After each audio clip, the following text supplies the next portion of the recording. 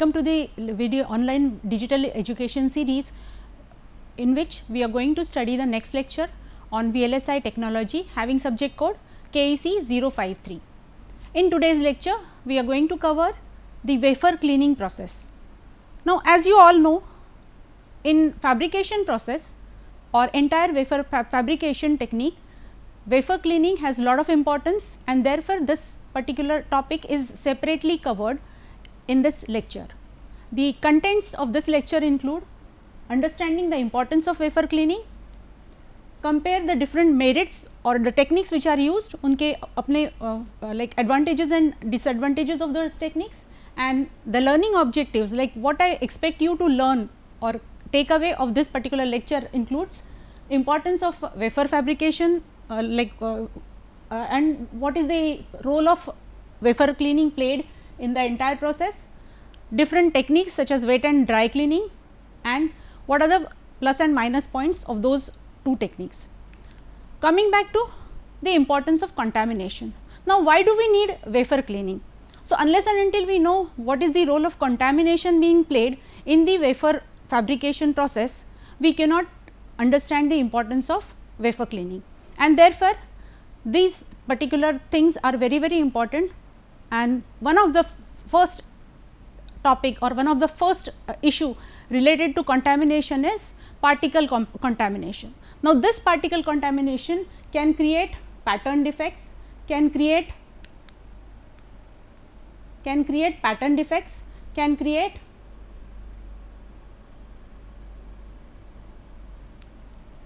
ion implantation defects, can create insulating film breakdown defects, alkaline metal which is involved or any contamination due to al alkaline metal onto the wafer surface can create MOS transistors uh, become unstable or unreliable operation of the MOS devices which are fabricated, gate oxide film breakdowns, heavy metal contamination in the metallization process that can if appears or uh, results or uh, what you call residues remain onto the wafer or the residue remains on the along with the wafer fabrication like during the fabrication can increase the PN junction reverse leakage, gate oxide film breakdown, minority carrier lifetime degradation or oxide excitation layer defects.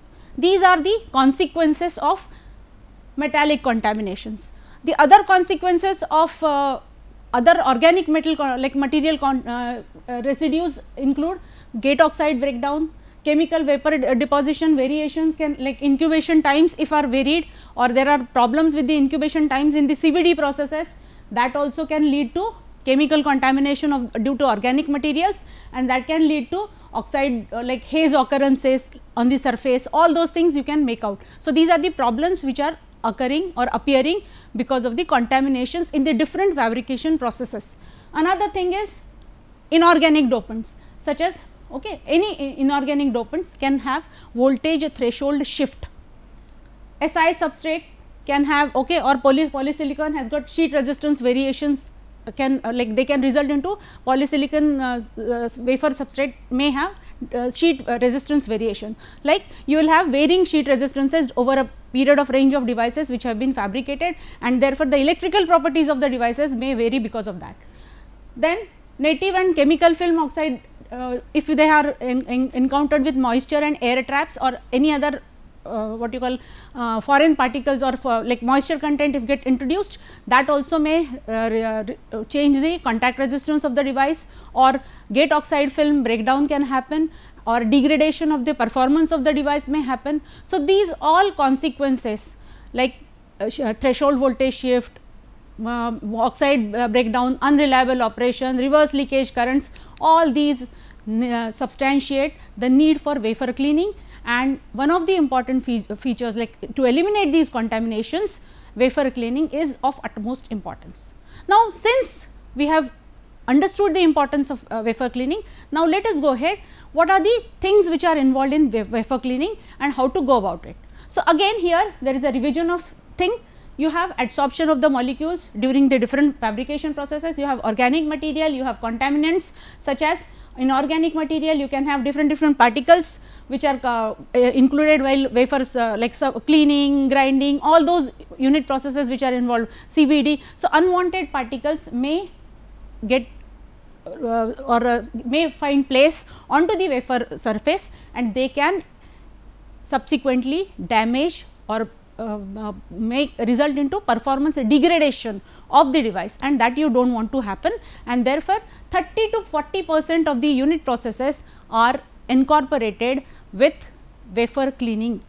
Now, most of the uh, processes are uh, pre uh, going for those processes you are going the, uh, going for the wafer cleaning and post wafer like processing also you go for the wafer cleaning. So, this is one of the important feature as far as wafer cleaning is concerned any I told you prefabrication process wafer surface must be clean. So, that like for example, uh, we are going to study the epitaxy. Epitaxial growth is uh, replicating the surface layer. So, if the surface layer itself is not proper the replication will also get affected and that you do not want to happen and therefore, this is very important to clean the surface before any particle that is adhered on the surface uh, has to be removed prior to any subsequent uh, processing which is incorporating either layer deposition or epitaxial growth or oxide because oxide also may have oxide trap impurities which may degrade the performance of the oxide layer which is deposited. And therefore, this removal of impurities which is uh, happening because of the uh, cleaning process is an essential component in the wafer fabrication. Many times you need to remove the native oxide layer also and that also is included during the uh, what you call cleaning process that also in one of the process like through cleaning you can wipe away that also. So, these are different. So, acceptable nature may if you want to get the surface if you want okay if you want to have product yield better product yield good what you call profit out of it do not want wastage that is happening because of the contamination you are expected to carry out wafer cleaning after every important stage of fabrication and therefore, wafer cleaning is of utmost importance. It is basically a star performer what you call process in the entire integrated circuit fabrication. Now, how to go about it? There are different techniques of wafer cleaning also. Now, what are those techniques? There are two basic techniques, one is known as dry cleaning and another one is known as wet cleaning. So, this is wet cleaning, this is dry cleaning. Of course, as the name suggests wet cleaning will have liquid clean cleaning agents and dry will be having some uh, what you call dry cleaning agents which are not uh, done in, in uh, basically in gaseous form or some other form. So, that is what is the difference between them and each of these techniques have got their own plus minus points associated with them. And over a period of advanced fabrication techniques, these methods have also evolved equally and there are different strategies which are to be inc incorporated while implementing the wafer cleaning techniques and therefore, this is a separate topic being considered as a part of your VLSI technology. Now, what are the things? So, very first cleaning technique is known as piranha cleaning. Now, piranha cleaning as the name suggests you know I think you all of, you might be knowing there is a fish called piranha and this piranha fish has got tendency to attack in mass like it there are like plenty of uh, like they are they always move in groups and whenever they attack they attack together ferociously and wipe away whatever flesh uh, appears onto the bottom of the sea or wherever they are like they find any ta target. So, they immediately attack the target and wipe it off like immediately finish of the target. So, this is what ferocious this is what uh, like uh, um, what you call uh, forcefully they at attack and try to finish off everything. So, with the same feature with the same nature inspired name they have given and this particular method is known as piranha cleaning. Now, this piranha cleaning incorporates sulfuric acid and peroxide mixture. Now, as you know same like piranha fishes how they attack the sulfuric acid has tendency to attack on the wafer surface. It will eat away whatever the contaminants are there and wipe, wipe them off. The same tendency they will show and therefore, the name is given as piranha cleaning. Now, the combination of H2SO4 and hydrogen uh, peroxide is 2 is to 1 or 4 is to 1 and the temperature is around 80 to 90 degree centigrade the tendency of this particular material is to oxidize the photoresist into CO2 and H2O that is carbon dioxide and H2O. It is applicable or it is suitable for all the organic particles.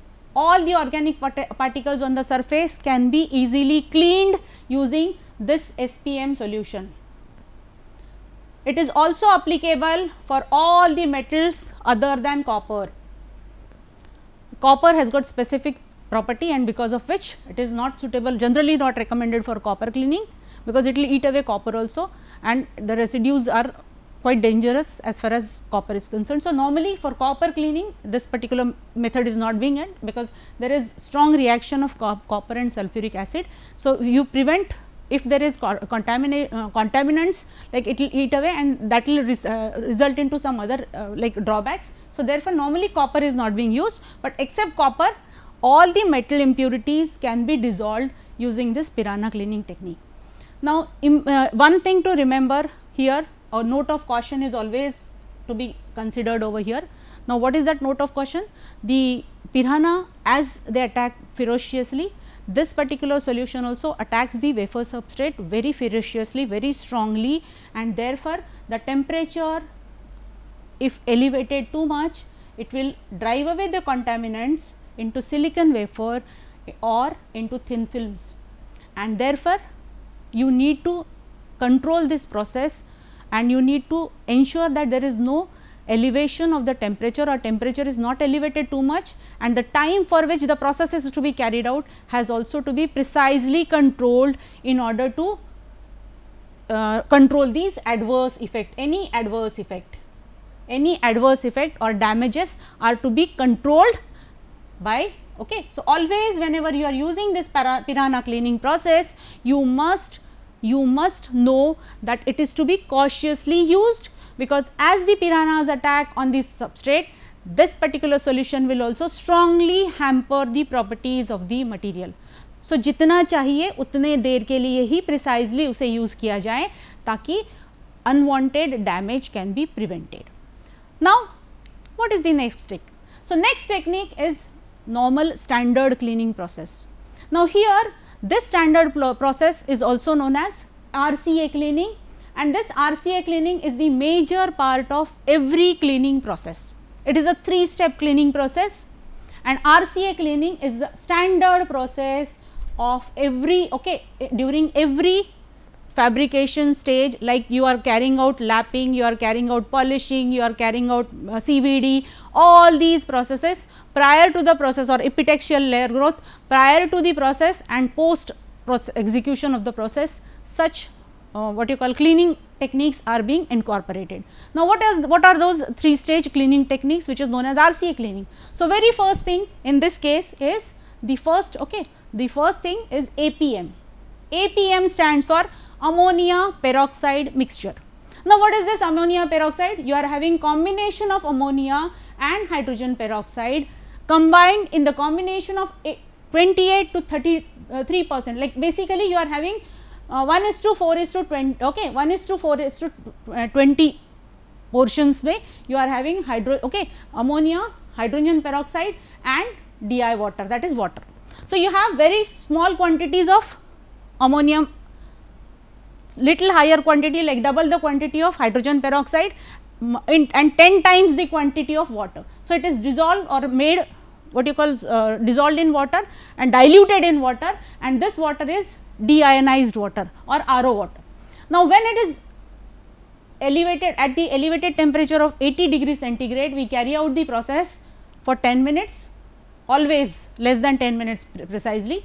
It, this process will oxidize the organic films, complex metals and can dissolve slowly the native oxide. Not only that, it can reoxidize the wafer and helps to dislodge the particles. This is what is the important phase. Now, how that thing happens? See all the OH atoms will be automatically getting placed, it they will react with the contaminants and drive away. But here also a word of caution is if therefore, you must be noting here the ammonia or this particular composition is very small or the quantity which in which we are using ammonia is very small because there is a tendency of NH4OH to etch away the silicon and you do not want. So, this this if uh, carried out for longer duration can create micro pits onto the substrate wafer. So, you do not want that also. So, here also word of caution is you need to precisely do it for a particular duration and the temperature everything has to be very controlled and very precise. Another second stage of this process is part of RCA cleaning, second stage this is known as HPM. Earlier was APM, earlier was APM ammonia hydroxide mixture, here we are having hydrochloric acid and hydrogen peroxide mixture. Now, what is this hydrochloric acid doing for you? This is basically now the combination is changed. Earlier ammonia since it is dangerous we are using only one quantity of ammonia and two quantity of hydrogen peroxide um, uh, dissolved in 10 times more water or de de deionized water. Here you are having 73 percent of hydrochloric acid, 30 percent of your ammonia hydroxide and you are having the proportion is the both both of them normally are used okay this is just uh, normally are used in 1 is to 1 proportion and or 1 is to 2 proportion and dissolved or diluted in DI water.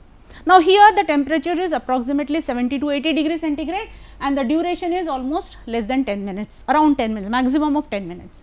Now, what happens in this process? This process will remove all the alkali ions and cations. All the cations alkali ions will be removed.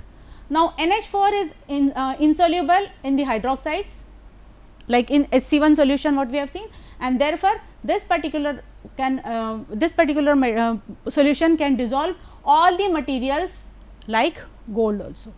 So, you can have all the metallic impurities also residues also which can be easily eliminated using this SC2 solution. So, first was SC1 solution SC1 okay, solution which was APM, ammonia and hydroxide okay.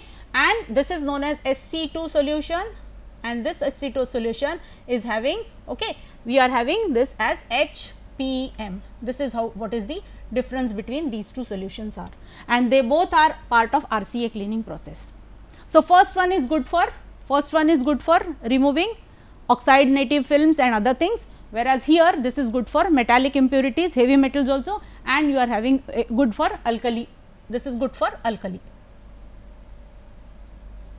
So, this is how you can have both the contaminants getting removed or uh, swept away from the wafer surface. Now, comes the method which is known as RCA cleaning part of RCA cleaning which is I told you it's it is part of the, these two processes what we have seen SC1 and SC2 are part of RCA cleaning process and this is what is the RCA cleaning process all about. Now, here we are having all the three compositions SC1, SC2 that is you are uh, using AP, APM solution as well as uh, so SPM solution also being used. Now, here the first method or first step here it is a 3 stage process I told you. First stage is to use hydro okay this is H2SO4 H2SO4 and H2O2 it is basically for 10 minutes which is used to stripe the photoresist or, or uh, whatever orga, organics are there especially photo photoresist and everything will be swept away. Then you are using hydrofluoric acid and H2O. First you are using sulfuric acid and second you are using hydrofluoric acid. Now here you, the process is at room temperature, here at least you are elevating the temperature up to 100 degree centigrade, but here we are using okay at room temperature this will be used for chemical oxide okay whatever chemical oxides are there they will be removed. Third is okay immediately after this you will clean everything with water. So, water is essential component in between the composition after cleaning this one and this one. So, that means first you will clean with H2SO4 then hydrofluoric acid first will remove all the photoresist whatever organic like photolithography mein whatever photoresist you are going to uh, uh, put the layer of photoresist onto the su su wafer surface everything will be removed. Its, its residual uh, uh, uh, like residues will be eliminated. Then we will eliminate all the chemical oxides. Basically these methods are very very use useful when you are going for selective doping or selective areas are to be exposed to or precise areas are to be exposed for doping or oxide formation. So, you can have the, this particular uh, method being incorporated because in such methods since the areas are very small like you have small small small small areas where you need to carry out the dopants or you need to introduce dopants through ion implantation or diffusion process.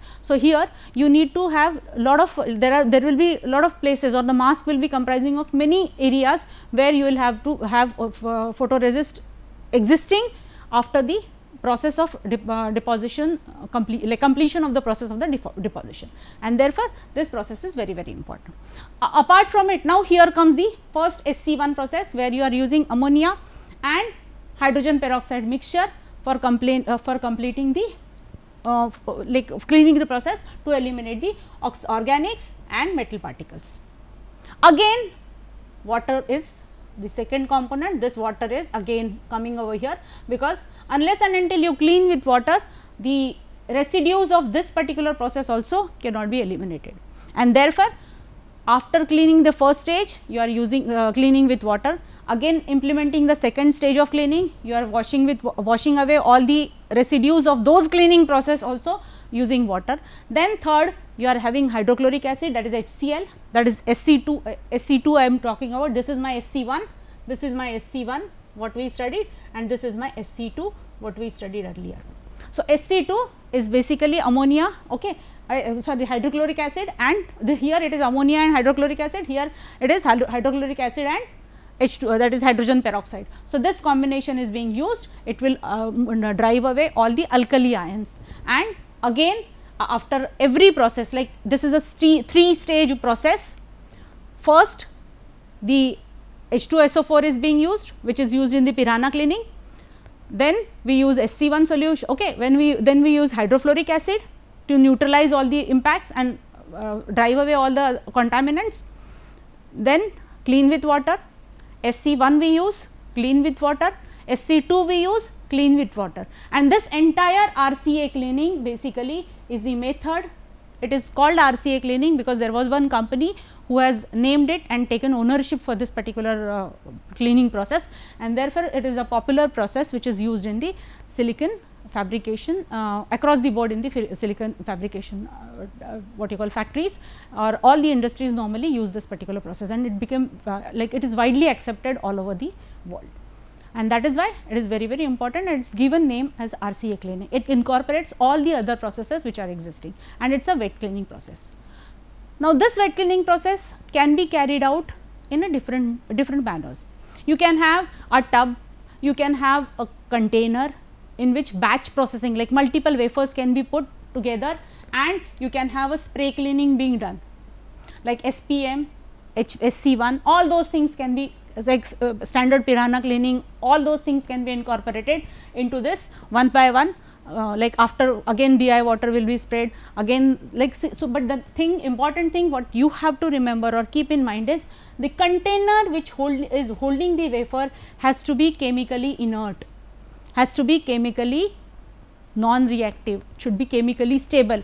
And then only then only this wafer can be cleaned Otherwise, what will happen is they the container itself will leave the contaminants onto the wafer substrate and you do not want that to happen. And therefore, this container or the material just like our Czochralski crystal growth we have seen the importance of crucible material. So, here also the importance of the container which is holding the wafer is equally important and therefore, Teflon and quartz are carriers are used which are basically carrying the wafers in the container itself. The container itself will be placed in the chamber, the material will be sprayed, I will show you how it is being spread.